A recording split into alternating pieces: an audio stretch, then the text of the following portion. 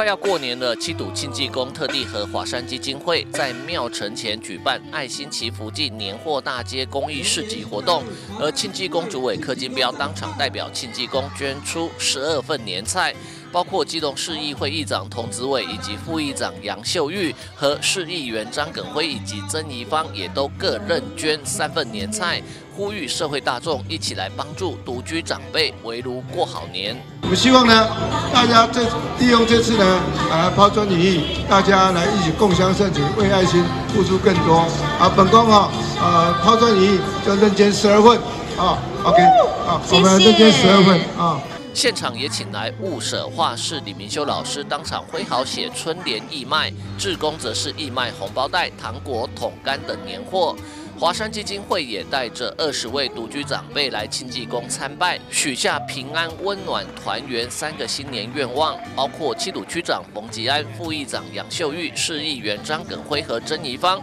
以及议长童子伟、秘书杨文和等人，分别为独居长者们挂上平安符以及戴上毛毛围巾。